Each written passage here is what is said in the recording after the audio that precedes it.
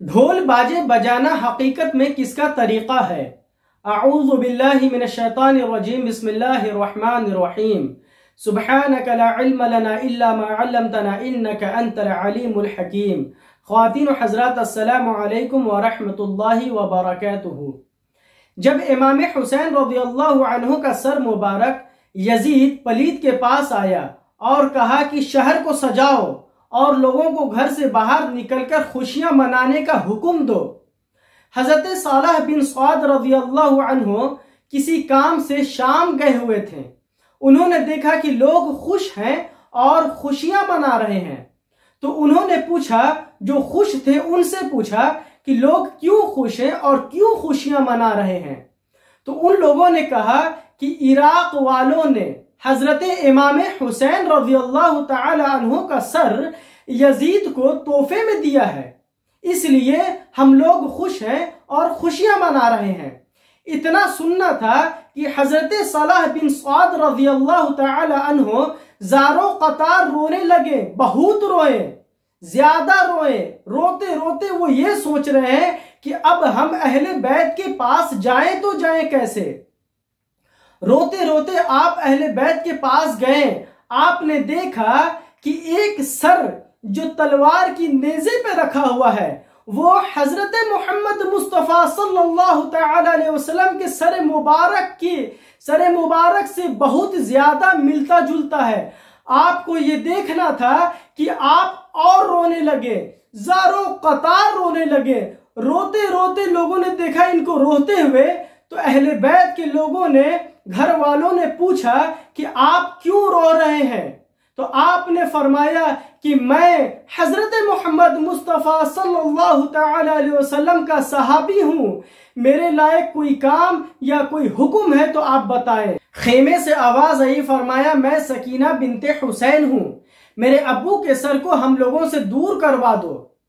फिर हज़रत सलाह बिन साद रज़ी अल्लाह चार सौ दिरहम दे करके इमाम हुसैन रज़ी अल्लाह का सर मुबारक औरतों से दूर करवा दिया।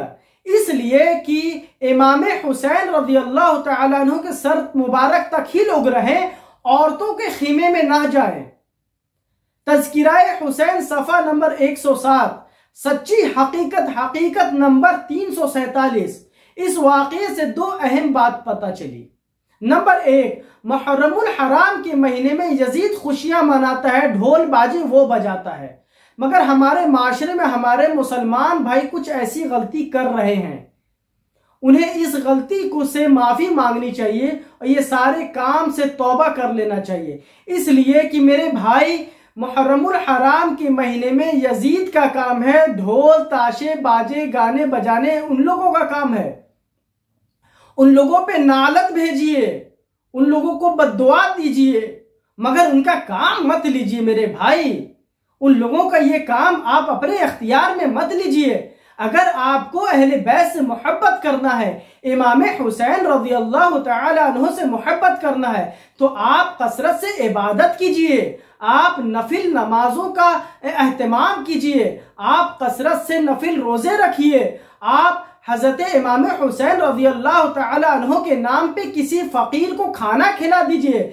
आप अहले बैत के नाम पे किसी गरीब, किसी यतीम का सहारा बन जाइए। आप अहले बैत के नाम पे किसी गुरबा मिस्कीन को कपड़ा पहना दीजिए। ये मोहब्बत होती है। ये मोहब्बत को हमको कायम करना है। ना कि मुहर्रमुल हराम के महीने में ढोल बजाना है, ताशे बजाना है, बाजे बजाना नहीं अल्लाह की उस पर नानत होती है जो मुहर्रमुल हराम के महीने में खुशी का इजहार करता है। अगर आप करबला शहादत का गम जानते हैं या करबला शहादत का वाक़ जानते हैं तो ये काम हरगिज मत कीजिए। उन अहले बैत को तकलीफ़ होती है। गोया की दुनिया में जितने भी सादात घराने के हैं, सबको इस चीज़ से तकलीफ़ होती है। उन तकलीफों से बचें, उनकी बेहरमती से बचें। वरना इसका आखिरत में बहुत बुरा अंजाम है। बहुत बुरा अंजाम है। दूसरी बात, दूसरी अहम बात इस वाक़े से पता चली कि हमारे यहाँ जब भी मुहर्रम आया, एक तारीख से ग्यारह तारीख तक लोग जलूस में मसरूफ रहते हैं, लोग मेले में मसरूफ रहते हैं और उसमें खास करके औरतें जलूस में औरतें भी रहती हैं, मेले में औरतें जाती हैं, सर पे आंचल नहीं बेपर्दगी नकाब भी पहन के चली जाती है। उनको लगता है कि नकाब पहन लिया तो हो गया मेरा काम। नहीं, आप नहीं बच रही हैं। आप एकदम नहीं बच रही हैं। आपको तौबा करना होगा। आपको अल्लाह से माफ़ी मांगना होगा। आप उस फरमाने रसूल सल्लल्लाहु अलैहि वसल्लम के खिलाफ चली गई। सिर्फ़ जिसम पे जिसम पे नकाब हो जाने से जिसम की हिफाजत नहीं होती। सिर्फ़ नकाब हो जाने से जिसम नहीं ढकता। आपको पर्दगी करना है, पर्दे में रहना है। पर्दे में रहने का यह मतलब नहीं कि नकाब पहन करके आप कहीं भी बेतहाशा जा सकती हैं। बिल्कुल नहीं। किसने इजाज़त दे दी आपको इस बात की?